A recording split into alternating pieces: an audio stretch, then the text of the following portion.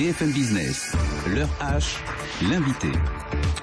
Notre invité, c'est Nathalie Kosciusko-Morizet, députée, président du groupe LR au Conseil de Paris, puis ancienne secrétaire euh, en charge du numérique. Merci d'être avec nous, Nathalie Kosciusko-Morizet. Beaucoup, beaucoup d'actualités, évidemment. Il y a le plan emploi présenté hier par le président euh, François Hollande, et puis cette loi euh, d'Axel Lemaire qui arrive donc à l'Assemblée nationale, où vous comptez bien, justement, c'est un sujet que vous aimez bien, défendre en tous les cas vos positions. Juste deux, trois petites questions. D'abord, est-ce que vous avez regardé, entendu le président de la République hier sur son plan d'urgence pour l'emploi? Est-ce qu'il vous paraît peut-être faire avancer en tous les cas la cause On a envie de dire euh, trop peu, trop tard.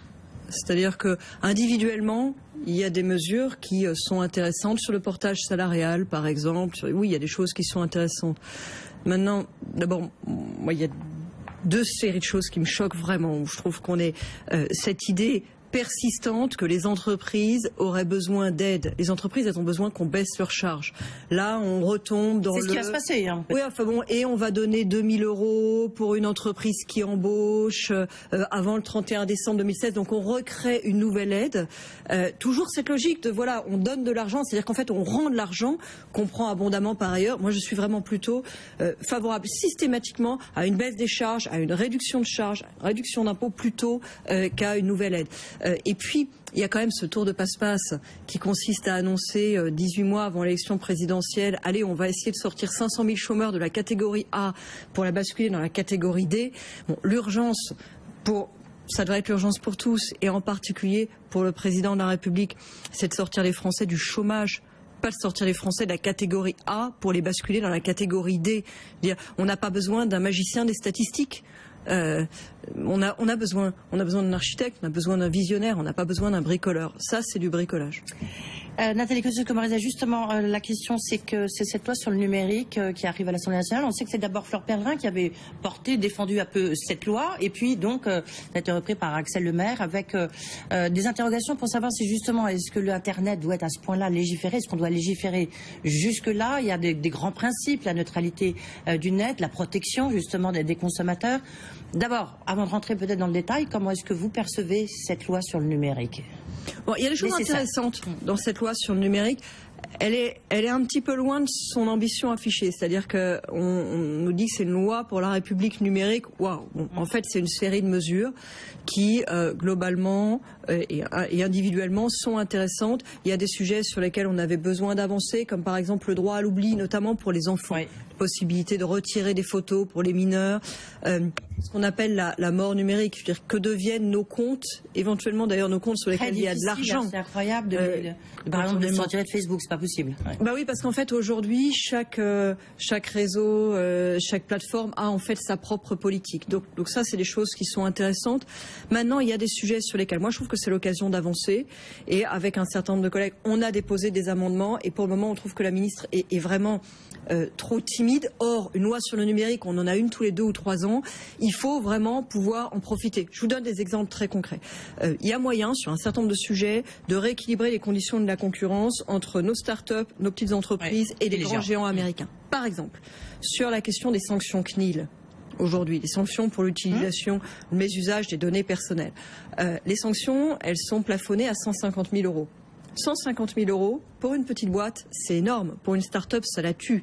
Et donc, ils font très attention, et c'est bien, à l'utilisation des données personnelles. 150 000 euros pour un géant du net américain, c'est même pas le prix de la journée oui, d'avocat. Oui, bien sûr, mais il y a la réputation quand même derrière, peut-être eh ben, c'est pas, non C'est pas assez. Donc, on a déposé un certain nombre, un amendement qui propose que euh, la sanction soit proportionnelle au chiffre d'affaires. Oui, une sanction proportionnelle au chiffre d'affaires, ça aurait du sens. Ce serait plus juste et, ce serait des conditions de rééquilibrage euh, des compétences. Voilà un exemple de choses qu'on pourrait en profiter pour faire euh, et qui pour le moment ne euh, trouvent pas leur place dans la loi. Axel Lemaire avait juste dit, même ici même, hein, du reste, que c'était cacahuète. Hein, en l'occurrence, elle-même n'était pas. Mais dans le fond, elle est d'accord.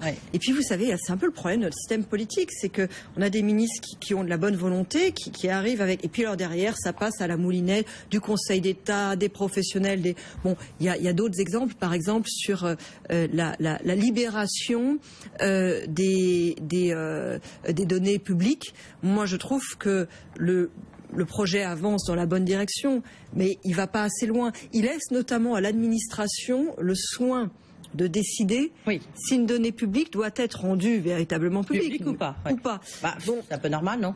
Non. Non? Pourquoi euh, Non, parce qu'en fait, les administrations sont souvent frileuses et par ailleurs, de toute façon, pas les plus à même de savoir si ça a un intérêt, tout simplement. C'est-à-dire que parfois, vous avez des administrations qui ne se rendent pas compte de l'importance de, ce qu'elles ont. Et, moi, je voudrais qu'il y ait la possibilité pour un tiers d'estimer, de, de, de, de, proposer. Alors ils nous disent, oui, en fait, un tiers peut le demander à la CNIL. Mais là, on fait encore un système judiciaire compliqué.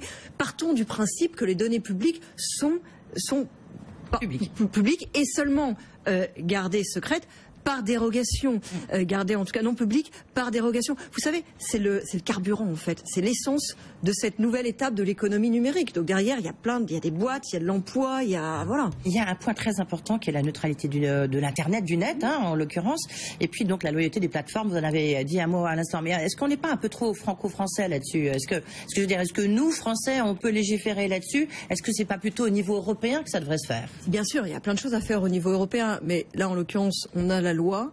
Euh, ça peut être l'occasion aussi d'amorcer des idées, d'amorcer. Mmh. Justement, ce que vous avez l'air de considérer, en fait, c'est que là, on va légiférer au niveau national et malheureusement, on risque de tout reprendre à zéro dans quelques mois quand au niveau européen, il y aura une réflexion. C'est ça l'idée globalement.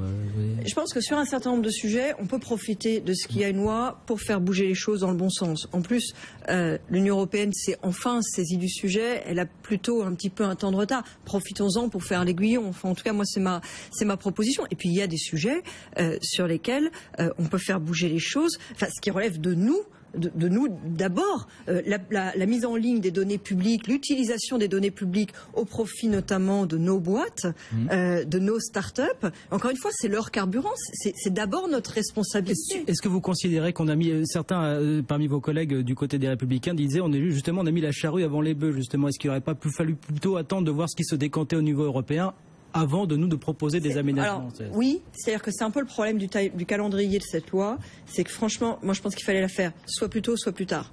Elle a mis du temps à être accouchée. Hein, euh. Oui, mais enfin, si vous voulez, c'est plutôt une loi de début de mandat, parce qu'en fait, toutes les problématiques qui sont soulevées, on les, on les connaissait.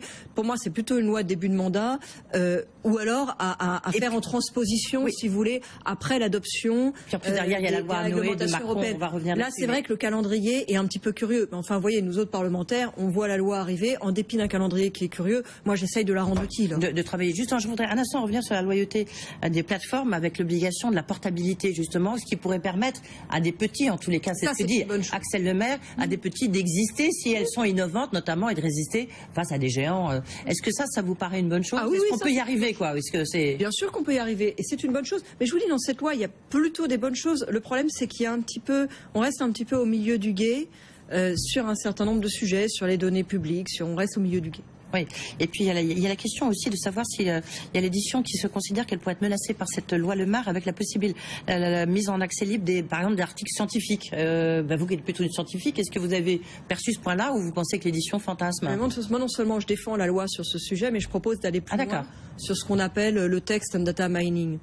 En fait, qu'est-ce qui se passe? C'est l'idée d'avoir un délai relativement court, mais enfin quand même raisonnable. Hein. c'est du six mois entre euh, la publication traditionnelle et euh, la mise en ligne. Six mois pour tout ce qui est sciences techniques et médecine, et 12 mois pour les sciences humaines et sociales. Pour des recherches publiques. Et je trouve que moi, je trouve que c'est bien. Et je vous dis, j'ai déposé un amendement pour qu'on puisse aller plus loin sur le text and data mining, c'est-à-dire en fait utiliser bah, tous les moyens du numérique pour pouvoir accélérer euh, la recherche. Oui, en même temps, bah, du coup, l'édition, elle dit attention, bah, nous, ça nous coupe l'air tout le pied. Hein. Déjà qu'ils ont des difficultés à trouver un modèle pour exister. Ouais, alors je, je, je, pardon, je vais être un peu sévère sur le sujet. Moi, j'étais secrétaire d'État au numérique quand on avait euh, le débat sur la loi Adopi. On voyait le monde de la musique être percuté mmh. par le monde du numérique. Et, et je m'étais dit à l'époque, je suis pas forcément fan du dispositif Adopi, je m'étais dit à l'époque, ma responsabilité, c'est aussi peut-être d'anticiper les choses avec les secteurs qui vont être percutés par le numérique. Voilà, le numérique transforme toute la chaîne de valeur. Et à l'époque, j'avais engagé la discussion avec le monde de l'édition. Le monde de l'édition, il était très en arrière de la main. Il voulait pas voir le problème. C'est-à-dire qu'il disait, ouais, alors pour l'essentiel, on n'aura pas de problème parce que le livre, c'est un objet sentimental.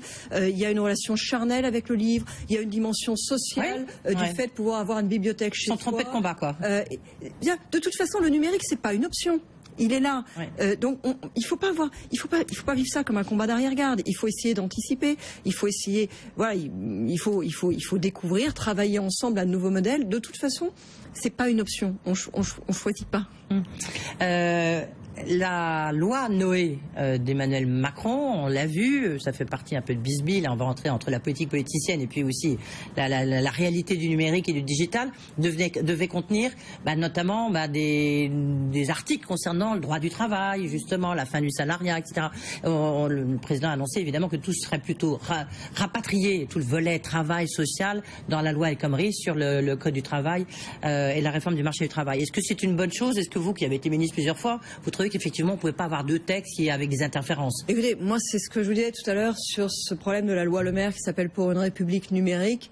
Euh, là, le, texte n'est pas à la hauteur de l'ambition du titre, parce qu'une république numérique, justement, ça devrait intégrer des choses qui relèvent euh, de la vie professionnelle, du marché du travail. Bon, après, on nous dit que ça va être dans un autre texte. On nous a d'abord dit que ce serait dans la loi Noé, puis maintenant on nous dit que ce sera dans la loi El Khomri.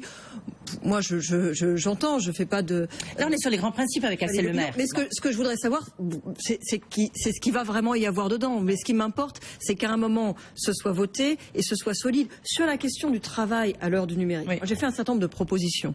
Euh, je, crois beaucoup, là aussi, c'est comme avec le monde de l'édition. Le, monde du travail, il est en train de se transformer. C'est pas une option. Ça sert à rien de se demander si c'est bien ou c'est mal. Euh, l'ubérisation du travail, il y a un moment où ça sert à rien de se demander si c'est bien ou c'est mal. C'est en train de se passer et donc la responsabilité de la puissance publique, c'est de prendre les devants, de voir dans quelle mesure il faut encadrer et d'essayer tout simplement d'en tirer le meilleur. Moi, je crois à l'émergence, au développement, à côté du pilier du salariat qui progressivement va se réduire du travail indépendant. Hum. Et je crois que notre responsabilité, notamment avec le développement de l'économie collaborative, la création d'un statut du travailleur indépendant, euh, la distinction entre qui est vraiment indépendant et qui est en fait dans une subordination de fait.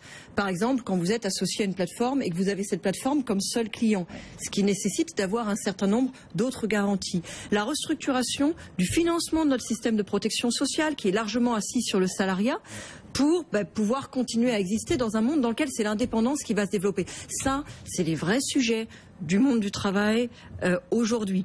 il, faut, quelque chose. Quoi, Mais sortons des débats. Vous voyez, euh, pour ou contre les 35 heures, c'est le débat de 2002. Moi, je regrette qu'on ne l'ait pas tranché à ce moment-là.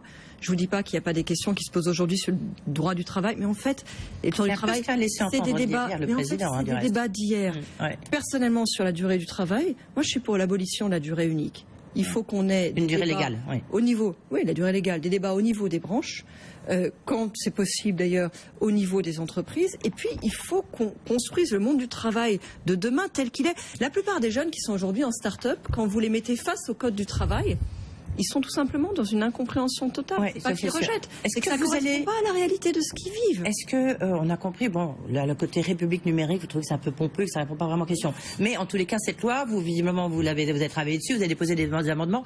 Si on tient compte un peu de vos amendements, etc., vous pourriez la voter, euh, même. Oui, oui. Vous allez la voter. J'attends un petit peu de voir. Bon, j'ai participé, euh, euh, beaucoup participé aux, discussions en commission des lois la semaine dernière. Je serai présente dans l'hémicycle pour les discussions cette semaine.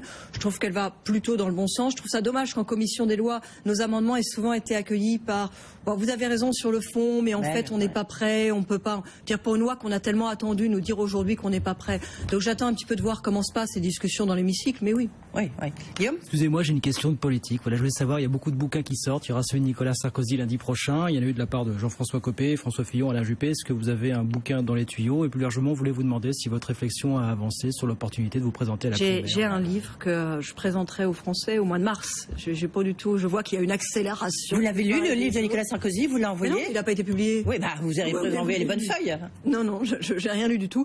Mais euh, pour pour ce qui pour la question que vous me posez, euh, j'ai prévu de, de, de, partager un certain nombre de réflexions au mois de mars avec les Français. Je m'en tiens à ce calendrier. Et, la primaire fait partie un petit peu de la réflexion? Ah oui, c'est un livre programme? Oui, quand j'ai prévu de partager un certain nombre de réflexions, ça veut dire que je ne vais pas répondre à votre question aujourd'hui, vous l'avez bien deviné. Oui, donc c'est un livre programme quand même. Comment? C'est un livre programme. Non, livre programme, vous savez. Bah, c'est pour dire quelque chose. Eh bien, bien sûr. Mais on peut dire autre chose que, que... Vous savez, moi, je suis toujours dubitatif quand les politiques arrivent avec genre mais sans mesure pour sauver la France. Euh, très souvent, d'ailleurs, sont, sont des euh, vous en voyez qui euh, aura été en position d'appliquer l'une ou l'autre de ces mesures. Et la première question qu'on a envie de poser, c'est et, et, et, et pourquoi pourquoi pas Pourquoi pas fait? Euh, Donc, euh, donc je pense qu'avant des 100 mesures, il y a, il y a, Et pourquoi il y a où on va, il y a où on va besoin? Il y a la euh, question de la vision. ouais. Qu'est-ce qu'on veut faire Et ensemble il faut un livre pour le dire. Vous savez, ça fait du bien d'écrire. Oui. Je pense que Ah, mais ça... parce que là, euh, là, vous faites les joies de l'édition, là, pour le coup, euh, à droite, hein, en tous les cas, parce que les- il y a les livres d'Alain Juppé, le livre de François Fillon, le livre de Jean-François Copé, le livre de Nathalie, Nathalie Kosciusko-Morizet, vous l'avez dit, le livre de Bruno Le Maire, euh, Jean-François, euh, Nicolas Sarkozy, Après, ça, fait, les, ça fait 5-6 les- Vous livres. savez, après, les lecteurs et les électeurs choisissent, mais euh, moi, je peux vous, vous en parler comme, comme auteur d'un livre. Je pense que ça fait du bien d'écrire, de, de, de poser, de construire. Vous savez, regardez, on est dans une émission, c'est toujours très court, c'est Ouais. intéressant. Et encore, vous, vous laissez, vous laissez parler, on a le temps de s'exprimer, plutôt plus longue que la plupart des émissions politiques. Mais bon, quand même, il s'agit de l'avenir de la France, il s'agit d'un monde en, grande transformation. Euh, ça nécessite de prendre un peu de temps pour en parler. Eh ben, vous reviendrez nous voir au mois de mars, si on a bien compris. Merci beaucoup d'avoir été avec nous.